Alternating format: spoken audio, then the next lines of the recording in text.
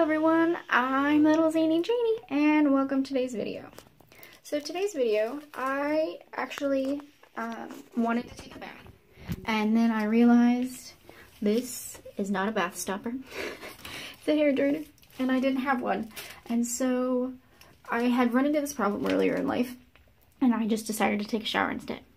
So I googled what to do in this situation and it said to fill a plastic bag with water and then put it over the drain.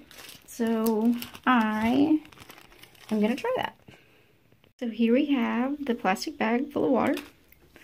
And I'm going to set it in the drain. And then I'm going to fill the tub up and we'll see what happens. As you can see, I am having to hold the bag up because it will fall over and release the water if I don't. So we're holding the bag.